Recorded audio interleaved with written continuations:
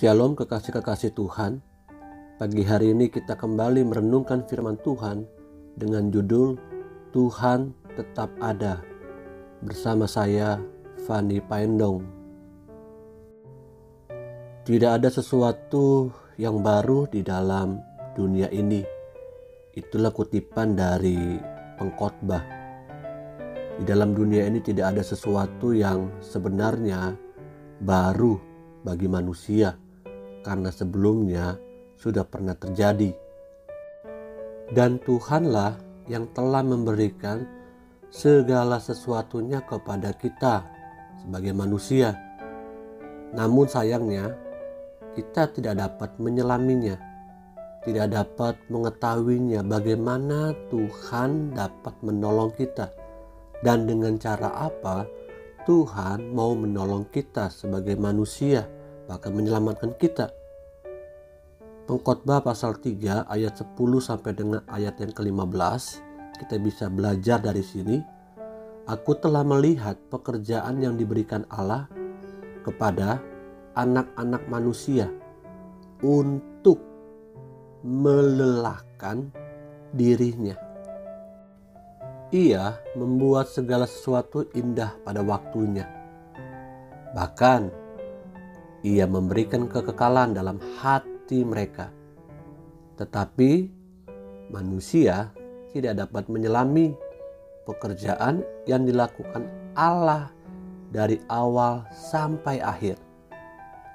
Aku tahu bahwa untuk mereka tak ada yang lebih baik daripada bersuka-suka dan menikmati kesenangan dalam hidup mereka, dan bahwa setiap orang dapat makan, minum, dan menikmati kesenangan dalam jerih payahnya. Itu juga adalah pemberian Allah. Aku tahu bahwa segala sesuatu yang dilakukan Allah akan tetap ada untuk selamanya.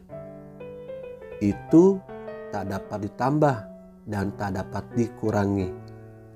Allah berbuat demikian supaya manusia takut akan Dia yang sekarang ada, dulu sudah ada, dan yang akan ada sudah lama ada. Dan Allah mencari yang sudah lalu. Sekali lagi dikatakan dalam poin pentingnya, Allah berbuat demikian supaya manusia takut akan dia. Saudaraku, manusia tidak dapat menyelami pekerjaan-pekerjaannya Tuhan.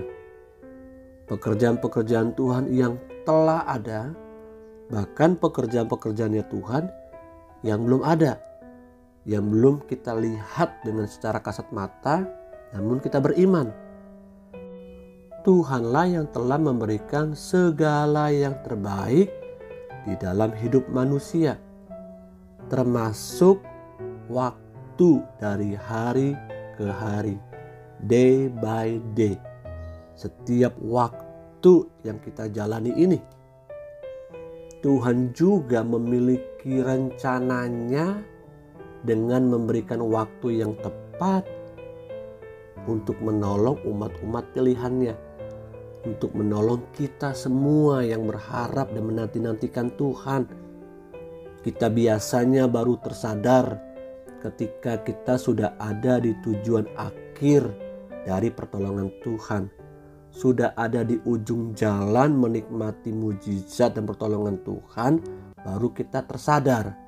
Dan biasanya kita akan berkata, "Oh, ternyata itu maksudnya Tuhan."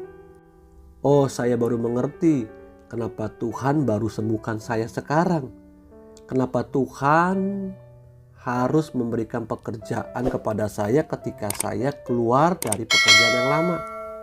Oh, saya baru sadar ketika sudah menantikan sekian tahun lamanya memperoleh keturunan, ternyata Tuhan baru kasih keturunan di usia pernikahan saya yang ke-10 tahun atau ke-17 tahun. Dan kita itu baru tersadar segala rencana-rencana Tuhan ketika kita ada di ujung jalan. Kekasih-kekasih Tuhan, renungan hari ini mengajarkan kepada kita Tuhan itu tetap ada. Dia Alfa dan Omega. Dia selalu ada di setiap waktu-waktu yang kita jalani ini. Bahkan waktu-waktu yang akan kita jalani ke depan. Saya percaya bersama dengan Tuhan kita pasti cakap menanggung segala perkara